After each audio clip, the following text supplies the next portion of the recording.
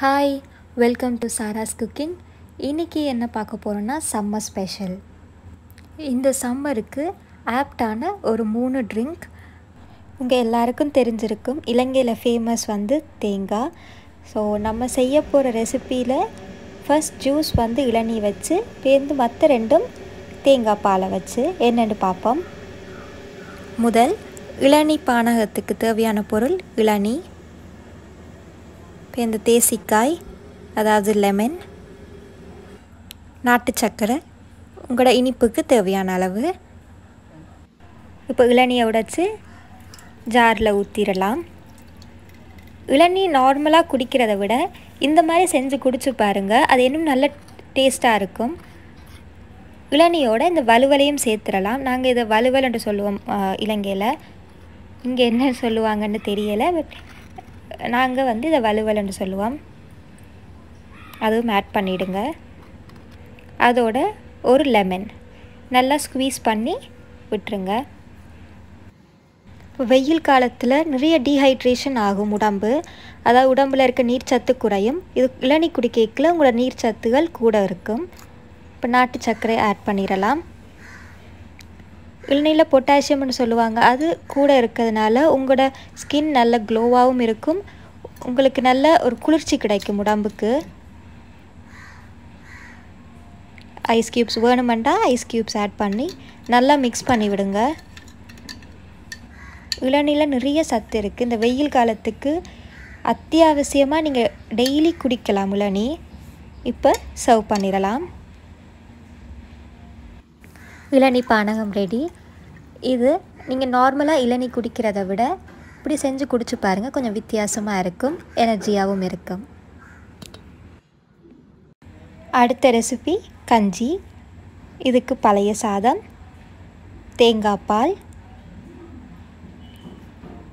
Lemon ஊறுகாய் அதாவது தேசிக்காய் ஊறுகாய். இதில் என்ன ஸ்பெஷாலிட்டின்டா எண்ணெய் இருக்காது. இது இலங்கை ஊறுகாய். இது எப்படி செய்கிறதுன்ட்டு இன்னொரு வீடியோவில் காட்டுறேன். இப்போ வந்து சின்ன வெங்காயம் பச்சை மிளகாய் உப்பு. இப்போ செய்கிறது எப்படின்னு பார்ப்போம். இப்போ ஒரு பாத்திரத்தில் பழைய சாதத்தை போட்டுடலாம். போட்டுட்டு அதில் வெங்காயம் பச்சை மிளகாயை ஆட் பண்ணி நல்லா மசிச்சு விட்டுருங்க. இது கையால் மசிக்கேக்கில் இன்னும் அதோட சுவை கூடும்.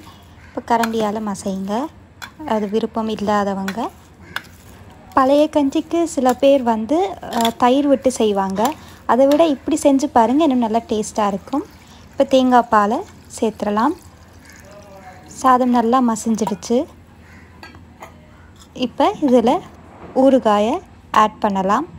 ஊறுகாயில் அந்த விதை இருக்கும். விதையை எடுத்துட்டு ஊறுகாயை மட்டும் ஆட் பண்ணுங்கள் இப்போ நல்லா மிக்ஸ் பண்ணுங்கள் தேவையான அளவு உப்பையும் இதில் ஆட் பண்ணிடலாம். இந்த வெயில் நேரத்துக்கு அதுவும் இந்த வெக்க நேரத்துக்கு நீங்கள் இதை குடிக்கல அவ்வளோ குளிர்ச்சியாக இருக்கும். நிச்சயம் இதை ட்ரை பண்ணி பாருங்கள் நல்ல சத்தும் இது. நல்ல குளிர்ச்சியும் உடம்புக்கு. இது குடிக்கேக்கில் வயிறும் நல்ல நிறைவாக இருக்கும்.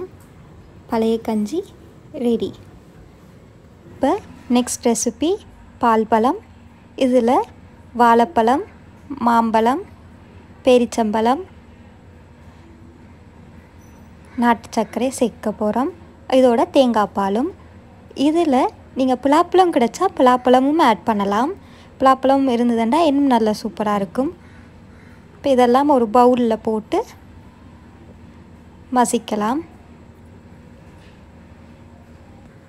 பெரிச்சம்பழத்தின் விதையை எடுத்துருங்க. எடுத்துட்டு இதை நல்லா மசிச்சுட்டு தேங்காய் பாலை இதில் சேர்த்துடலாம் நீங்கள் நாட்டு சர்க்கரைக்கு பதில் சீனியும் சேர்க்கலாம். அதாவது சுகரும் சேர்க்கலாம். இல்லை அப்படின்னா நீங்கள் நாட்டு சர்க்கரையும் சேர்க்கலாம். இனிப்பு கொஞ்சம் பார்த்துக்கொள்ளுங்க. ஏன்னா ஆல்ரெடி நாங்கள் நிறைய பழங்கள் சேர்த்துருக்கோம். அதனால் இனிப்பும் பாருங்கள் கொஞ்சம் உப்பு இதில் ஆட் பண்ணுங்கள் ஏன்னாடா அதுண்ட சுவையை எடுத்து கொடுக்குறதே உப்பு தான் ஸோ ஒரு சின்ன ஒரு பிஞ்ச் உப்பு போட்டால் ஓகே நல்லா மசிச்சிடலாம். இப்போ நல்லா மசிஞ்சு வந்துருச்சு. இதில் இப்போ தேங்காய் பாலை சேர்த்துடலாம். உங்களுக்கு கொஞ்சம் திக்காக வேணுமெண்டா கொஞ்சம் குறைவான பால் சேருங்க. கொஞ்சம் தண்ணியாக வேணும் என்னும் அப்படின்டா இன்னும் கொஞ்சம் பாலை சேர்த்துருங்க பால் பழம் ரெடி இது மூண்டையும் ட்ரை பண்ணி பார்த்துட்டு எப்படி இருக்குன்னு சொல்லுங்கள்